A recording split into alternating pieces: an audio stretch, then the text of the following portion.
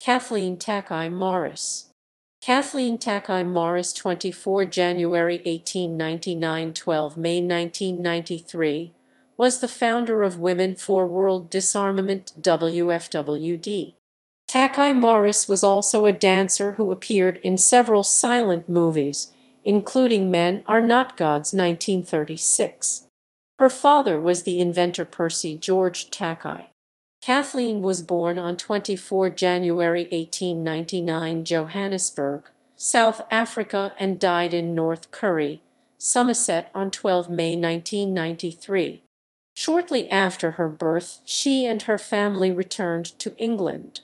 Kathleen married Walter A Stagg in December 1936 in Kensington, London. After the end of her first marriage, she married Richard R. Morris in March 1945 in Exeter, Devon. In 1999, the Tacchi Morris Trust donated P-Sown million together with a P. Estu. 1 million grant from the Arts Council to create the Tacchi Morris Arts Center.